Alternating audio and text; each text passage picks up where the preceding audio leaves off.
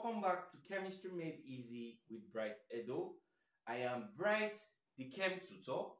In today's video lesson, I'll be teaching on electrolysis, whereby I'll be focusing on the first law of electrolysis.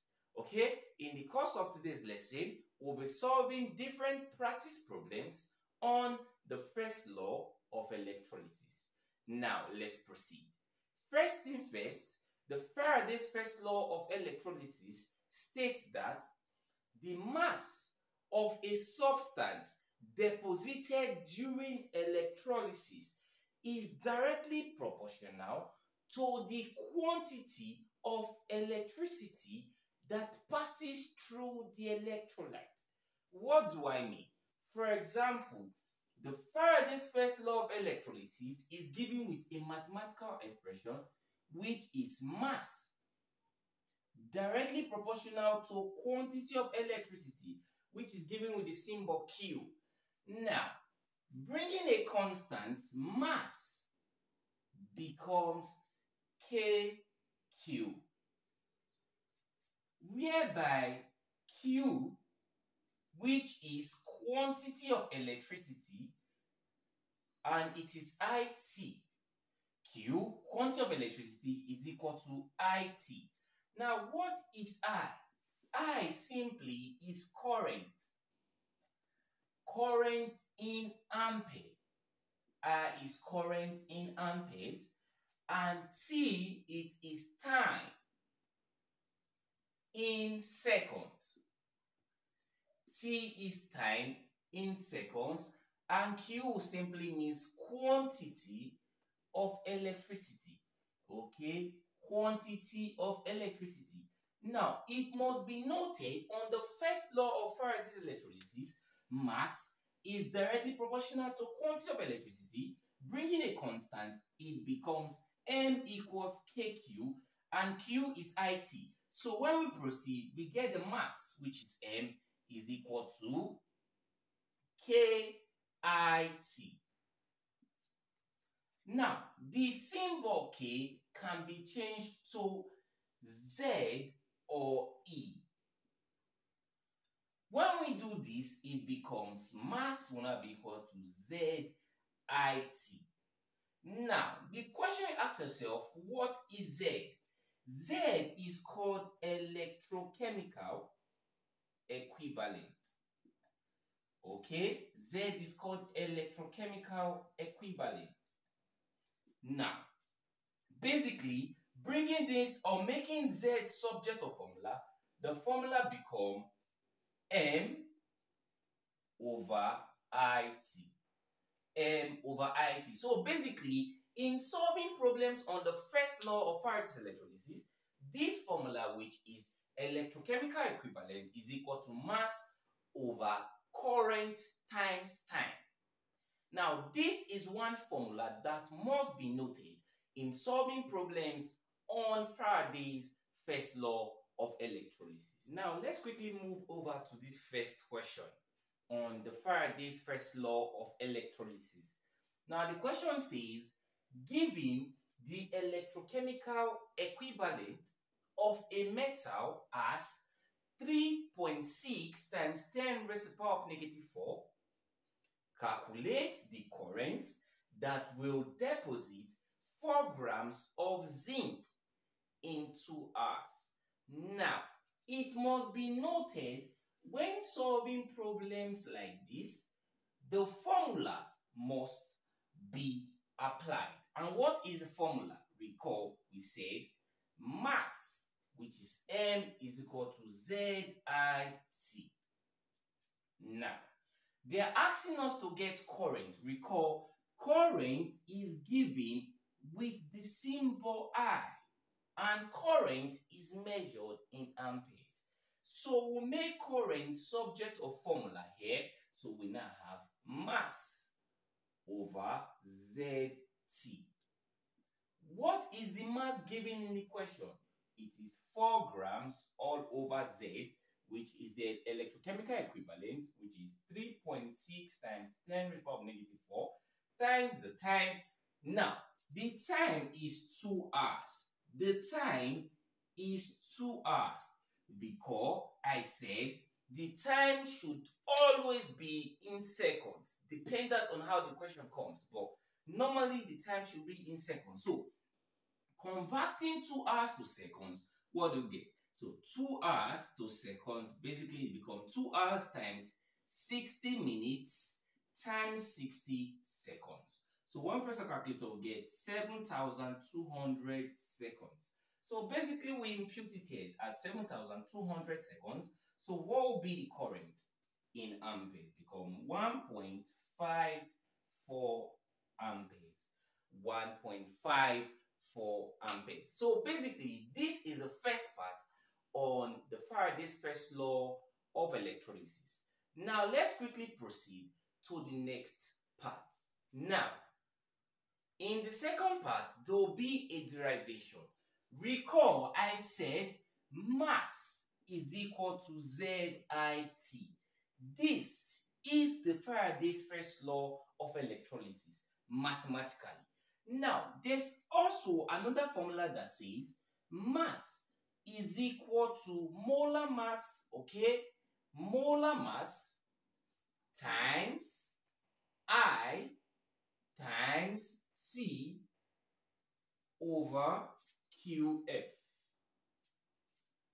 This formula is very, very important. Now, what does I implies? It implies current, as we earlier said, and current in amperes. What does T implies? It implies time in seconds. And what does Q implies? Basically, it implies charge of element. It implies charge of element. And what does F implies? It implies Faraday's constant. The Faraday's constant. And Faraday's constant is measured in coulombs, which is 96,500 coulombs. Now, I said Q is charge of element. Now, let's talk about something. Now, let's say in the practice problem, the element we are asked or the element given in the question is zinc. Now, what will be the charge of zinc? That will be Q. And we already know that zinc ionically is Zn2+. plus. So basically, this will be the charge. Q equals 2. Now, let's say it is copper and copper ionically is Cu2 plus. What will be the charge, which is Q2? Let's talk about other elements like the likes of um, gold. Gold is Au plus or you say Au3 plus. So basically the Q can be 1 or Q can be 3. So the point here is this. It is dependent on how the question comes, you apply the values for the charge of the element. Sometimes they can say gold 3. So you use your gold to be 3 plus. Now let's use other elements like likes of um, mercury. Mercury, Hg. It is Hg2 plus. Q equals 2. Okay, we have various elements. We have mercury, gold. All of these elements are the most popular elements used in practice problems. Now, like for example, we have aluminum. So this is Al3+. plus. So basically the Q becomes 3. Okay, this is for aluminum. So the Q basically implies charge of element. Now, there will be a derivation. Now, we already know that mass is equal to ZIT. And same mass is equal to molar mass times I times T over QF. Since mass is equal to ZIT and molar mass is equal, sorry, and mass is equal to this, it means that these two formulas can be equated. It means that these two formulas can be equated. And what do I mean? This is what I mean. So basically becomes ZIT over molar mass times I C over QF. Now let's make molar mass subject of formula. Making molar mass subject of formula, we have Z I T Q F over IT. IT cancels IT, so basically molar mass becomes ZQF. This formula is a very very important formula in solving problems on the first law of Faraday's electrolysis. Now let's quickly move over to the question. The question says, given the electrochemical equivalent of a metal M, a metal M2 plus as this 3.6 times 10 raised power of negative 4 determine the molar mass of the metal. Now, now, what do we do? First, we recall the formula as earlier derived. Now we say to get the molar mass of a metal dealing with electrochemical equivalent, we simply say the molar mass M or MO is equal to ZQF. Now, what is Q in the question? It is the charge of the element. Now, in this context, the Q is 2 plus. So this is the Q value. And basically, the Z is 3.6 times 10 power negative 4. And the F is Faraday's constant, which is 96500 coulombs. So basically, imputing this into the formula, molar mass becomes the Z is 3.6 times 10 to the power of negative 4 times Q. And the Q is 2 times F, which is 96500 coulombs. So basically, when we hit our calculator, we get the answer to be 69.5.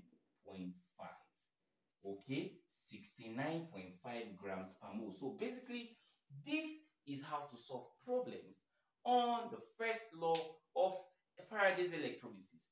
Recall, we gave a formula that says, um, we gave a formula that says M is equal to ZIT, which is the first representation, and we solve problem. And now we are given a formula which is molar mass is equal to ZQF. Now, all of these formulas should be taken note of in solving problems on this aspect.